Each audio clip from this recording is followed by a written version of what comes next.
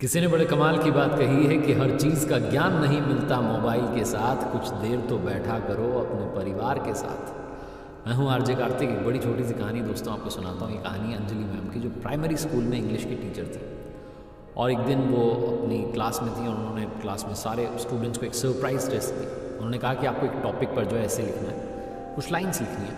और टॉपिक था my wish मेरी ख्वाहिश कि मैं क्या चाहता तो सारे बच्चों ने अपना अपना जवाब जो था आंसर शीट में लिख दिया। मैम कॉपीज सबमिट कर दी। मैम घर आ गई, घर आकर के कॉपीज चेक कर रही थी। और उनके हस्बैंड जो थे, वो मोबाइल में लगे हुए थे गेम खेल रहे थे सोशल मीडिया चला रहे थे बिज़ी थे। उनको पता भी नहीं था कि उनकी वाइफ जो है कॉपी चेक कर रही है, पास में बैठी हुई सब अपने अपने काम में व्यस्त थे घर।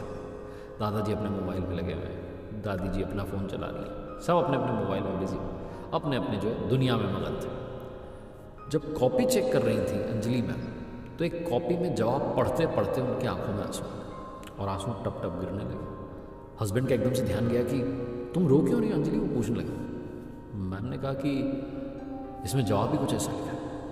हस्बैंड ने पूछा, ऐसा क्या लिखा है कि तुम्हें रोना आ रहा है और क्या टॉपिक था जिस पर इतना तुम परेशान हो गई हो? कोई इमोशनल बात थी? अंजलि मैम ने कहा, नहीं टॉपिक तो बहुत आसान था। मैंने बच्चों से कहा कि आज माई विश मेरी ख्वाहिश पर कुछ लिख करके बताइए। और एक बच्चे ने कुछ ऐसा लिख दिया है जो पढ़ कर के मेरी आँखों में नम हो गई है। मैं समझ नहीं आ रहा है, क्या करूँ? हस्बैंड ने पूछा, नहीं, क्या लिखा? तो कहती है, बच्चे ने लिखा है कि मैं चाहता हूँ, मेरी ख्वाहिश है कि मोबाइल चला जाए, दूर चला जाए, हमारे घर से दूर चला मेरे दादू मोबाइल चला रहे होते हैं, घर जाता हूँ, दादी मोबाइल चला रही है, स्कूल से जाता हूँ, सोचता हूँ, खेलूँगा, बात करूँगा, कोई बात ही नहीं करता, बुआ मोबाइल चला रही चाचू चाची सब मोबाइल चला रहे हैं, पापा स्कूल से आते हैं, अपना काम निपटा करके तो वो भी मोबाइल चला रहे होते हैं, स्कूल की जॉब ख़त्म करने के बाद, सब मोबाइल चला रहे हैं, मम्मा स्कूल से आती हैं, पढ़ा करके वो भी जो है मोबाइल चला रही होती है, मुझसे कोई बात ही नहीं करता। और फिर नीचे बच्चे ने लिखा कि अगर आपको जादू आता हो तो मुझे जादू सिखा दो, क्योंकि अगर मोबाइल दूर नहीं जा सकता तो मैं वो मोबाइल बनना चाहता